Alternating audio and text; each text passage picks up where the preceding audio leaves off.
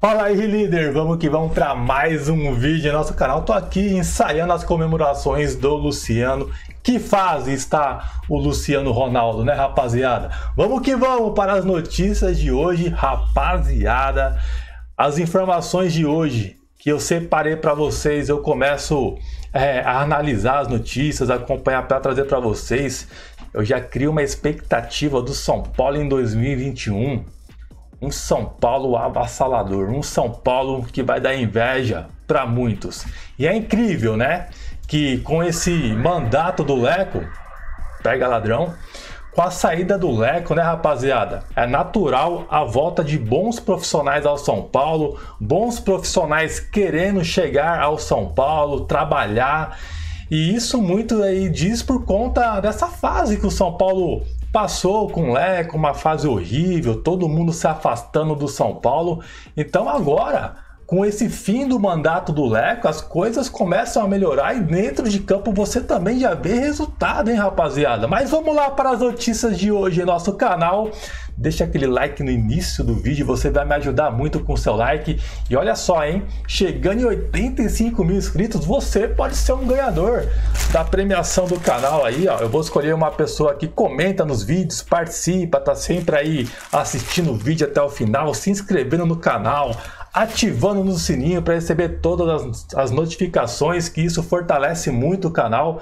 Você pode ser o ganhador da camisa. Basta você comentar nos nossos vídeos que a gente vai separar uma pessoa aí que participa de verdade, uma pessoa aí que realmente é fiel ao canal do Teclas para ganhar o prêmio, beleza? E passando essa meta, a gente vai escolher é, uma nova meta aí e novos prêmios para vocês, beleza? Vamos que vamos para as informações. Hoje o negócio tá que tá, hein? Vamos que vamos. E certamente você já está sabendo a notícia de Murici Ramalho, né? Murici Ramalho deixou o Grupo Globo, deixou a Sport TV para assumir cargo no São Paulo Futebol Clube e isso a torcida já fica é, alvoroçada com Murici Ramalho. Quem não gosta do Murici Ramalho, eu quero ver um São Paulino falar que não gosta do Murici. É difícil, é raro achar um que não goste do Murici Ramalho. Até na Globo foi um ótimo profissional, só elogios ao Murici. Todos os programas que o Murici participava, todo mundo gostava dele, queria ele. E não é por menos, né? Murici é um excelente profissional, uma excelente pessoa, um cara que conhece realmente de futebol, de bastidores e certamente vai agregar muito no São Paulo Futebol Clube. Quem não gostaria do Murici no seu time? Até o Palmeiras cogitou, tentou contratar o Murici, a Leila tentou levar o Murici para o Palmeiras, mas o Murici é tricolor. O Murici é nosso, rapaziada. Murici Ramalho, praticamente fechado e certo no São Paulo em 2021, conforme várias matérias, jornalistas aí cravando. Mas Júlio Casares, ele deu uma informação no blog do São Paulo aí, uma conversa que ele teve com o Zanqueta. Ele disse que até o dia 12 do 12, é, que é o anúncio oficial das eleições do São Paulo, ele não tem nada formalizado com nenhum profissional ainda. As conversas existem, mas nada confirmado resultado mas sabemos que Murici é o primeiro nome aí que o Casares gostaria de levar para o São Paulo. E depois dessa saída da Globo, aí já ficou evidente que Murici Ramalho é tricolor paulista e vai chegar aí em 2021. E pode acontecer também uma transição do Murici já em dezembro, hein, pessoal? Isso pode acontecer caso o Diniz aceite também, mas isso aí é um detalhe aí que só pode acontecer depois das eleições é, do dia 12, tá? Mas pode acontecer acontecer, tá? Não é nada certo, mas é uma informação aí para vocês, beleza? É, informações aí do blog do São Paulo. Vamos lá, ó. O Zete também deve chegar ao São Paulo. O cargo do Zete seria realmente apenas para 2021, já no novo comando aí da presidência do São Paulo. Ele deve ser um coordenador de goleiros do tricolor. É um ótimo nome também, um goleiro aí multicampeão no São Paulo. É, de titular ganhou mais títulos que o Rogério Ceni, né? Se você for olhar bem aí. Então o Zete, cara, sem palavras também, vai chegar muito é, bem aí pro São Paulo, vai agregar muito tricolor. Vamos lá, ó. Uma notícia aí que mexeu também dos lados flamenguistas, hein, rapaziada? Se liga aí, ó. Multicampeão no Flamengo em 2019. 19, diretor de futebol Paulo Pelaipe é o nome da vez aí para ser talvez aí um gerente do São Paulo, um diretor caso o Casares vença também as eleições. O nome forte agora aí é de Pelaipe, hein, rapaziada? Daí eu fui me aprofundar um pouco mais sobre Pelaipe no Flamengo, essas coisas. Para ser bem sincero para vocês, eu não vi um flamenguista falando mal desse cara. Eu não vi um. Eu vi apenas elogios a esse profissional e pelo que eu vi, cara, é... eu falei, é esse cara esse cara tem que vir para São Paulo. Então gostei muito.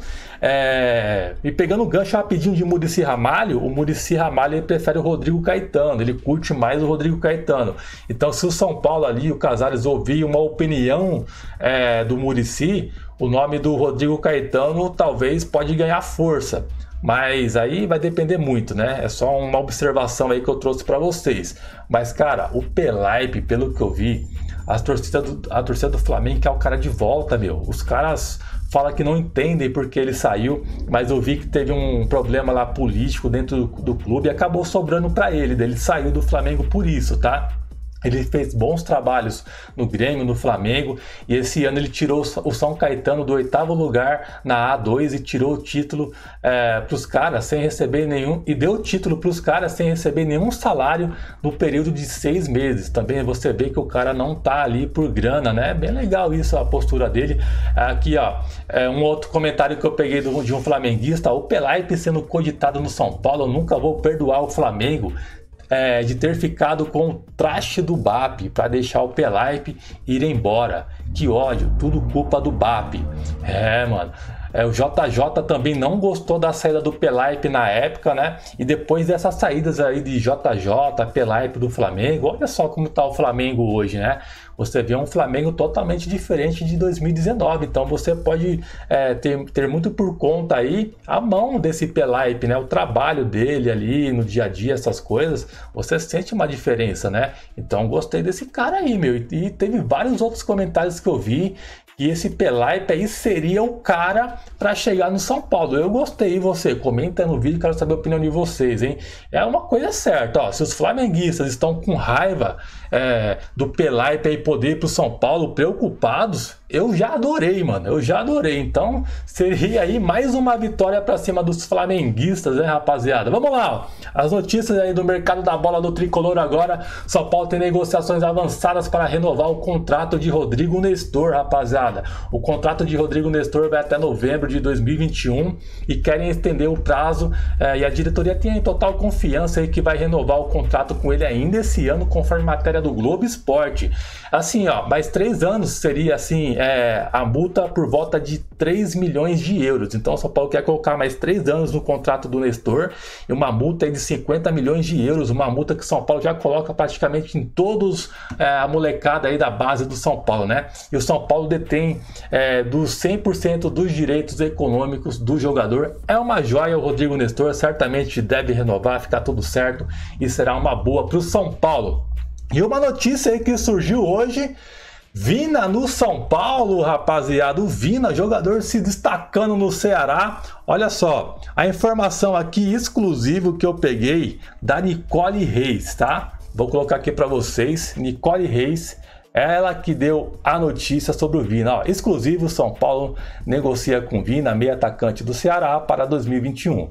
Tricolor Paulista, a princípio, fez apenas uma consulta ao staff do atleta. Números do, Vina nesse ano: 18 gols, 14 assistências, um dos melhores meias do Brasil na temporada. Nicole Reis, informação dela. Tentei me aprofundar mais sobre essa situação aqui do Vina no São Paulo e tal. Não achei nada, não vi nada. A única informação mesmo é dessa moça aqui, Nicole. Então, é uma informação aqui que eu estou repassando para vocês. É, se for verdade, para mim seria um bom reforço. E aí, você acha que seria bom o Vina no São Paulo, um cara que está se destacando, jogando um bolão aí no Ceará? Certamente seria muito bem-vindo ao São Paulo, né? Vamos aguardar, por mais que por enquanto eu acho difícil, viu? Ter negociações assim de jogador de fora e tal. Tem eleições em dois, é, agora dia 12. Mas o futebol é uma caixinha de surpresa, né, rapaziada? Mas aí. Essas são as notícias. Curtiu o vídeo? Curtiu o Murici, Zete? Quem você gostaria de ver no São Paulo? Pelaipe, é, Rodrigo Caetano aí, é, o Serri. Qual desses você acha que seria o melhor profissional aí para o São Paulo? Vai comentando aí no vídeo. E vale lembrar, hein? 85 mil inscritos, você pode ganhar uma camisa aqui do canal Teclas Daniel. Esse foi o vídeo, rapaziada. Tamo junto. Espero que vocês tenham gostado e até a próxima. Valeu!